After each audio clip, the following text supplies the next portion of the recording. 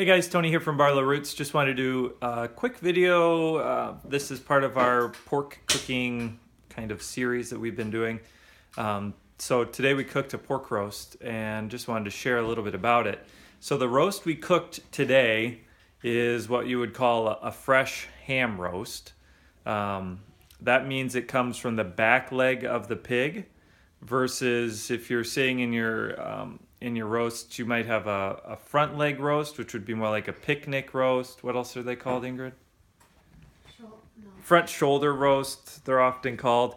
So this is from the back leg, and this is the same cut of meat that they would use to make ham. And some of you maybe had ham made out of your back leg.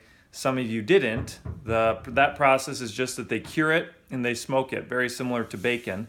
And so um, I'm not going to really talk about cooking ham because uh, we don't cook a lot of ham. We get all of our ham roasts as fresh, not cured and smoked. So let's talk about how we cook uh, our fresh ham roasts and uh, I can show you what it looks like as well. So we use the crock pot as we do for a lot of things. And um, right now you can see that this maybe, you can't see, that says high right there. Um, so we've got the crock pot set on high. When did we put it in? Mm, two o'clock. Yeah, about two o'clock we put this in the crock pot. Frozen. completely frozen.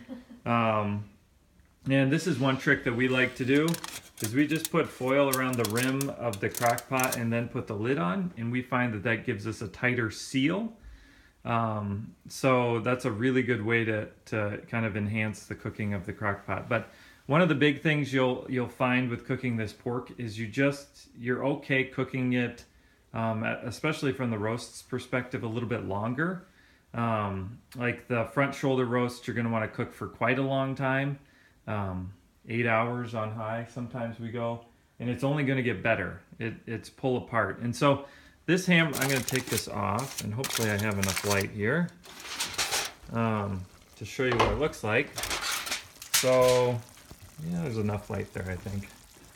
Um, so this, when, when I got home probably a half hour ago, this roast was still whole. Um, so I went in and I just broke it up. And you can see how it pulled apart. Uh, let me pull out a piece for you. So it just, it breaks apart in kind of these larger chunks. And then, did you add liquid, Ingrid? I added about one cup of water. So there, we added a cup of water. First thing we did is we browned the ham roast and uh, on all the sides and then we just put it in here completely frozen with a half cup of water and let it just cook on high for four hours approximately.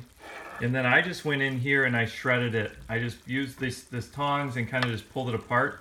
The back leg of the pig has way less fat. The ham roast has way less fat than the front um, the front roast. And so this technically is not uh, really made to be a pull apart roast, but our pigs have a little bit more fat than a conventional pig, and so it, it actually ends up working pretty good with our pork. So, and this is just the way we like to like to eat our pork roasts, is shredded like this. So we'll have this tonight with some squash on the side and probably a salad, and that'll be our meal. This could this would also be good on a sandwich. You could put it with barbecue sauce on a sandwich or with tacos although the front shoulder is really what's more known for that type of preparation. But so uh, you could also slice this fairly thin and eat it that way, but we just like it kind of in chunks. So then I, I broke this all apart, let it, we're letting it cook in its juices for about another probably half hour to an hour, um, just to let it develop some more flavor. I seasoned it well with salt and pepper